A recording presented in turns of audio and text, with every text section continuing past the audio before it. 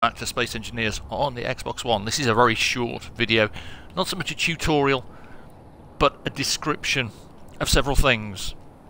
I noticed a, uh, a comment recently on one of the Facebook groups, the Facebook group for the uh, Space Engineers community I'm in, and it got me to thinking, let's show the visual difference between small and large grid blocks in terms of connectors ejectors and collectors.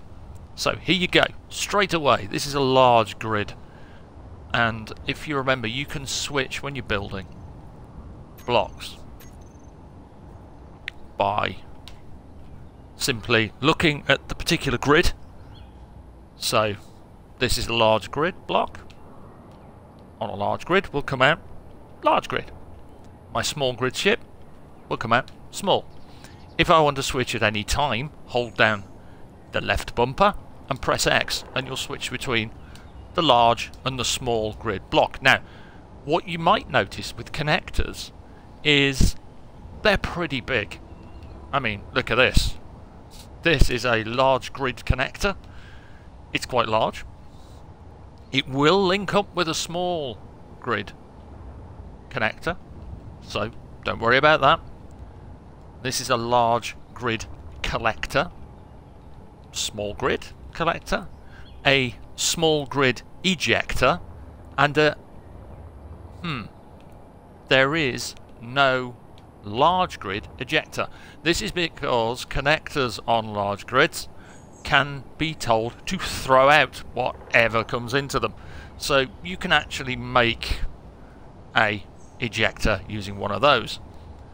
Now, the reason you might want an ejector is you might want to connect up a mining ship to a cargo container.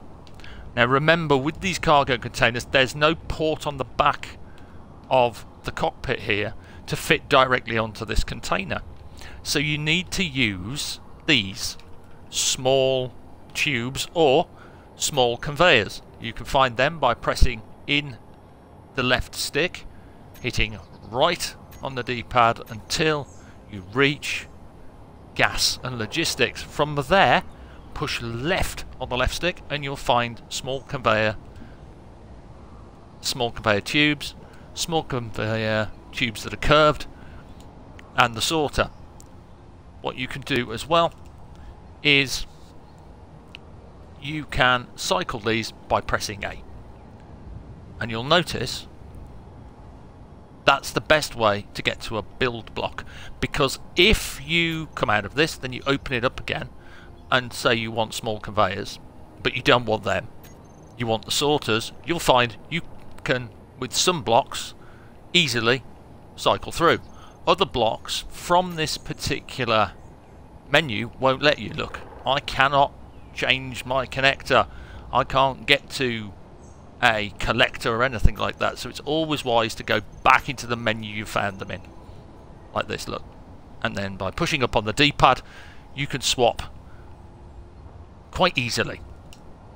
So, back to the particular trick.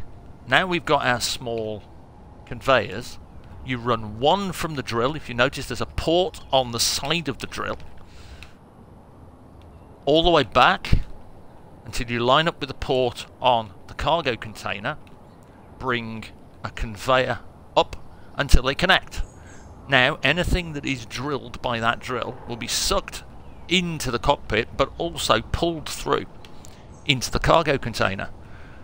But say you don't want stone Ah, well, this is where the conveyor sorter block comes in. This can let you hurl stone out of that ejector.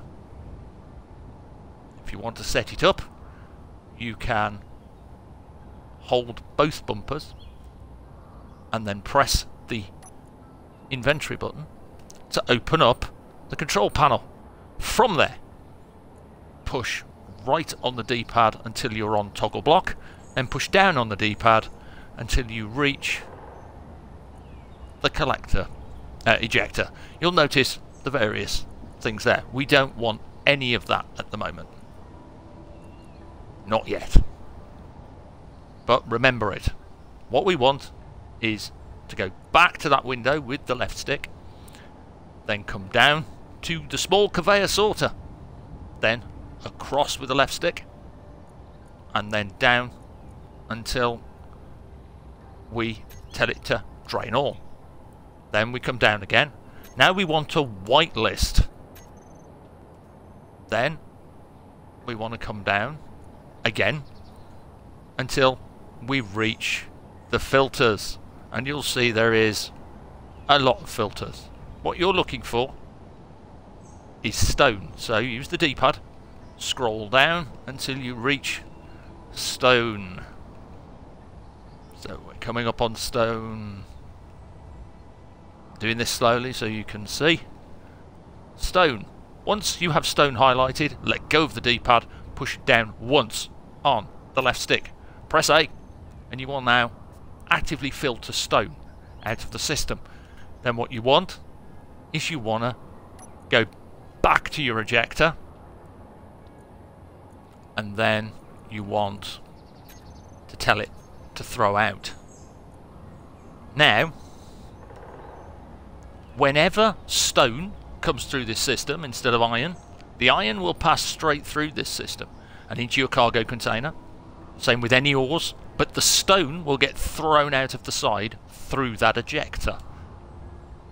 And if you want to drop off your goods to a base, like I've got here, you're going to need a connector. So, you'll find that under gas and logistics. There it is. Again, you can swap with A till you find the one you want. You want a connector. Press the right bumper to confirm it. And as you know, you can rotate using the D-pad until you get it to a line like that. The ports on the back of the cargo container and on the connector are now aligned and there you have a small grid connector which you can use to offload anything that's in that cargo container. When you land on the base, you'd simply connect to the base connector, switch the lock, which I've covered in my other tutorial videos, and you're away.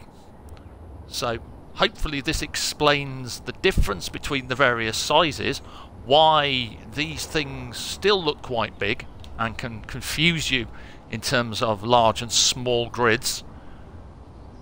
How to connect up a cargo container to a miner, use an ejector to throw out stone using a small sorter, and basically that will get your infrastructure up and running so you can use your mining ship, bring all that lovely ore back, ignore the stone unless you really want it, and you can put a switch in the cockpit to turn that sorter block on and off so that if you want to keep your stone you can simply switch that off mine as much as you want bring it back process it in your refinery turn it into stuff in the assembler. Hopefully that's been informative. As always stay safe take care thank you for watching. I'll catch you in the next one. Bye.